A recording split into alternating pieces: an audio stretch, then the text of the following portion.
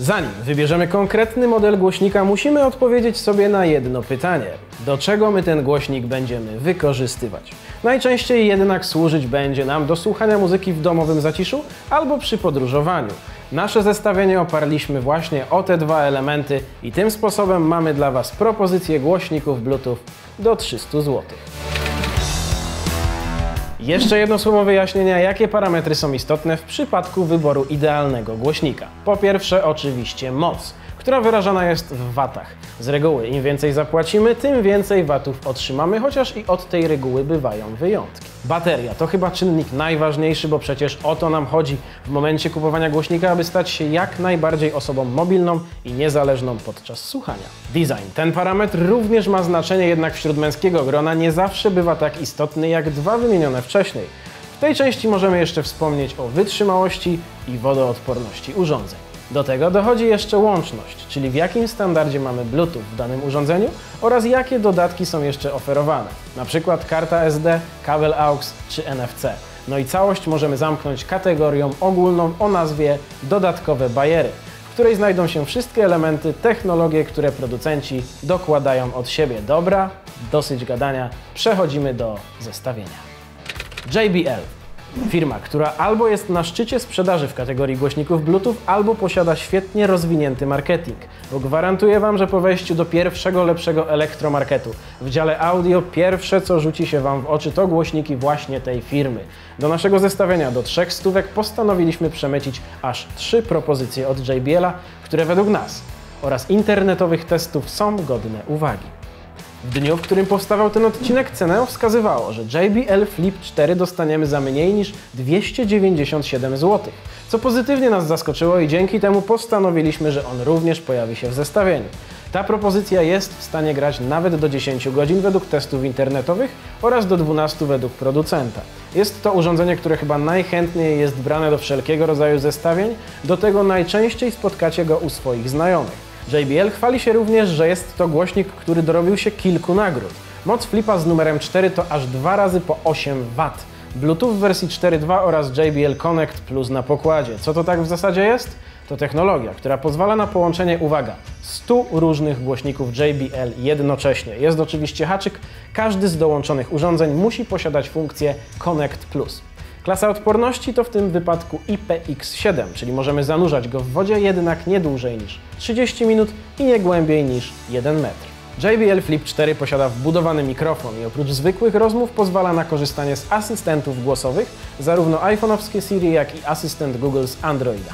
JBL Clip 3. Ta pozycja jest o wiele słabsza od poprzednika oraz nie ukazała się jeszcze na rynku wersja czwarta i w sumie nie wiadomo oficjalnie, czy seria będzie kontynuowana. Nazwa dość podobna do poprzednika i łatwo można się pomylić. Mimo słabszych parametrów, bo mamy tu do czynienia z mocą 3 W, pojawił się w naszym zestawieniu ze względu na nietypowy design. Otóż, oprócz tego, że głośnik dostępny jest w, o ile się nie mylę, 11 wersjach kolorystycznych, to dodatkowo posiada jeszcze, jak sama nazwa wskazuje, clips, czyli karabinczyk, który umożliwi powieszenie go w dowolnym miejscu. Nie wiem dlaczego, ale jego wygląd kojarzy mi się jedynie z osobami, które posiadają zamiłowanie do wspinaczek górskich. Czas odtwarzania do 10 godzin. Klasa odporności jak w poprzedniku IPX7. Złącze jack 3,5 mm, wersja Bluetooth 4.1, wbudowany mikrofon i to tyle, co można o nim powiedzieć. Na koniec serii JBL mamy jeszcze dla Was model Go. Tutaj mamy wersję klasyczną, czyli zwykły Go, która jest najbardziej popularnym głośnikiem do 100 zł, no i jest jeszcze wersja Go 2, która obecnie kosztuje nieco ponad stówkę. Różnica w cenie jest zatem dość minimalna, ale my skupmy się na tym nowszej wersji. Mamy tutaj moc na poziomie 3 W. Baterię, która wystarcza na 5 godzin pracy oraz złącze jack 3,5 mm, do tego wbudowany mikrofon, wodoodporność oraz kabel USB do ładowania. Żeby nie było, że ma on tak mało funkcji, to dodajmy jeszcze, że producent daje do wyboru aż 12 wersji kolorystycznych. Creative Sound Blaster Free. Jak wskazuje producent, sprzęt został zaprojektowany z myślą o osobach, które często podróżują. Jeżeli miałbym wybrać z dzisiejszego zestawienia jeden, który urzekłby mnie swoim designem i wykonaniem, myślę, że gwiazdka powędrowałaby właśnie do tego modelu. Posiada on dodatkowo klasę wodoodporności IPX4, czyli nadaje się do użytku turystycznego, bez problemu poradzi sobie z zachlapaniem czy deszczem. Głośnik może pracować zarówno w pozycji pionowej, jak i poziomej. Jest to typ głośnika 360, czyli bez względu z której strony znajdziemy się, dźwięk zawsze będzie tak samo dobry. Mamy tu do czynienia z mocą na poziomie 8 W. Na jednym ładowaniu urządzenie jest w stanie pracować do 10 godzin i tego czasu nie przeskoczycie, chociaż wydaje mi się, że taki wynik w tej cenie jest zadowalający. Sound Blastera naładujemy przez kabelek micro USB, a dodatkowo znajdziemy również slot na kartę microSD do 32 GB. Łączność Bluetooth w wersji 4.0 i w tym przypadku do głośnika mogą być podłączone naraz aż dwa urządzenia. Za to odpowiada technologia Multipoint Bluetooth. Seria Sound Blaster od Creative umożliwia dostęp do oprogramowania SBX Pro Studio 2, które poprawi i pozwoli wyskalować parametry dźwięku płynące z naszego głośnika. Dzięki temu możemy również traktować ten model jako głośnik komputerowy, jednak z góry zaznaczam, że tylko do oglądania filmów lub słuchania muzyki, bo do gier się totalnie nie sprawdzi. Oprócz standardowych przycisków mamy do dyspozycji jeszcze możliwość mieszania lub zapętlania utworów oraz ciekawy przycisk Loud, dzięki któremu momentalnie zwiększymy głośność dźwięku, jak mówi producent, dźwięk stanie się bardziej przestrzenny. O ile z tym pierwszym się zgodzę, to do drugiego mam drobne wątpliwości. A, no i byłbym zapomniał, posiada również wbudowany mikrofon, no ale wiecie jak z tymi mikrofonami w głośnikach Bluetooth jest. Skoro już przy firmie Creative jesteśmy, to zaproponuję jeszcze jeden model, który nie jest wcale drogi, bo dostaniecie go już za około 150 zł. Wyglądem na pierwszy rzut oka nawiązuje nieco do stylistyki znanej z JBL Go, jednak jest nieco większy od niego. Stopień ochrony, jaką spełnia ten głośnik to IP66, czyli jest odporny na wodę i kurz. Co jednak oznacza ta odporność na wodę? Według opisu klas z internetu możemy się dowiedzieć, że jest on odporny na działanie deszczu oraz silnego strumienia wody. Zapytacie, czy można go zatem do tej wody wrzucić? O tym nigdzie informacji nie ma, a producent na swojej stronie omija to sformułowaniem. Dzięki temu nic nie zepsuje zabawy na basenie, a o w basenie już nie ma mowy. Wbudowany akumulator wystarcza na 6 godzin pracy z urządzeniem. Ładujemy klasycznie za pomocą kabla micro USB, a dzięki technologii bezprzewodowej możemy dołączyć do niego drugi taki sam głośnik i cieszyć się z dwóch urządzeń jednocześnie. Jest również apka na telefon i komputer, w której możemy wysterować niektóre parametry dźwiękowe. Co ciekawe, głośnik może posłużyć jako czytnik kart microSD. Dostępny jest w aż 8 wersjach kolorystycznych, a Bluetooth obsługuje w standardzie 4.2. W internetowych testach dźwiękowych wypada naprawdę dobrze, dlatego zaczęło mnie zastanawiać, jaką posiada moc i tutaj ciekawostka. Bardzo ciężko jest znaleźć informacje na ten temat, nawet na stronie producenta czy elektromarketów, które posiadają ten model w sprzedaży. Nie wiem, czy to celowy zabieg, czy niedopatrzenie, dlatego jeżeli ktoś z Was wie, jaką ten głośnik ma moc, koniecznie dajcie znać w komentarzach oraz napiszcie, z jakiego źródła pochodzi Wasza informacja. Trun Smart T6.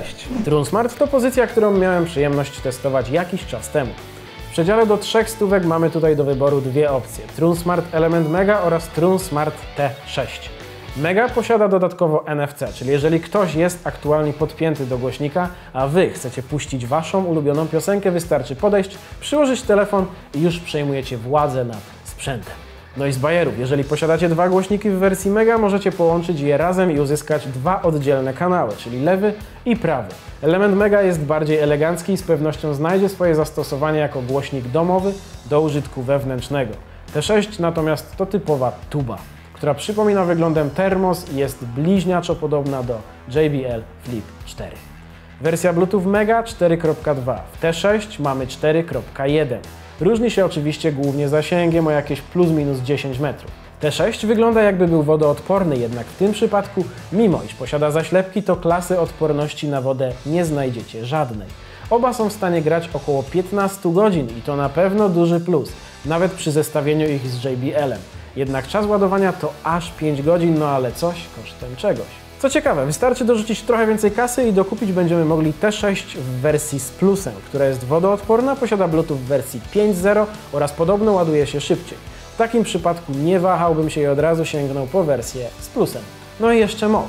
Według specyfikacji technicznej klasyczny T6 posiada moc 25 W. Wersja T6 Plus 2 razy po 20 W.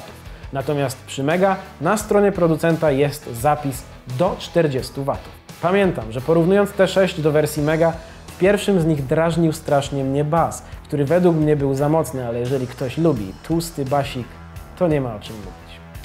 Ultimate Ears Wonderboom. Coś innego i wydaje mi się, że o wiele mniej znanego. Kształtem totalnie odbiega od pozostałych w zestawieniu, jednak materiały są dość podobne do poprzedników, bo mamy tu do czynienia z gumą oraz materiałem. Do tego jest kawałek sznurka, który może posłużyć jako zawieszka do głośnika. Dodatkowo dostępny jest w aż sześciu wersjach kolorystycznych. Ilość przycisków jest dość minimalistyczna. Wśród nich znajdziemy m.in. przycisk parowania. Gdy posiadamy dwa takie same głośniki, możemy połączyć je w zestaw i korzystać z dwóch jednocześnie. No i przycisk do regulacji głośności, których trudno nie zauważyć, gdyż wypełniają cały front urządzenia. Klasa odporności taka sama jak w JBL, czyli IPX7. Wytrzyma zarówno zanurzenie w wodzie, jak i zachlapanie. Jeżeli chodzi o moc, to kolejny parametr widmo, bo nigdzie nie ma na ten temat żadnej informacji. I znowu kieruję to pytanie do Was. Jeżeli wiecie, dajcie znać w komentarzach.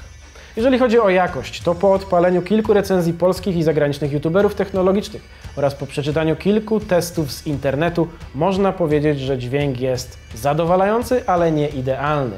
Wszystko jest podbite czystym basem, a dodatkowo jest on cholernie głośny. No i zobaczcie, zestawienie do trzech stówek za nami. Zaproponowaliśmy w nim m.in. 3 JBL, 2 Creative, 3 True Smarty i 1 Wonderboom, czyli w sumie jakieś 9 pozycji. A na rynku istnieje dużo, dużo więcej, ale gdybyśmy chcieli przedstawić wszystkie, to ten materiał trwałby jakieś 30 minut. Dlatego teraz Wy musicie nam pomóc i w komentarzach pod tym materiałem dodajcie Wasze propozycje, jakich Wy używacie lub jakie proponujecie. Może to będzie Sony XB21, może Tracer Rave, a może coś mniej popularnego jak Fresh and Raybull Rockbox. No i nie zapomnijcie komentować, subskrybować i lajkować, a jeżeli chcecie zobaczyć więcej filmów tego typu, to koniecznie zlukajcie materiał o tym, jak wybrać swój pierwszy dron. No to co? Do zobaczenia.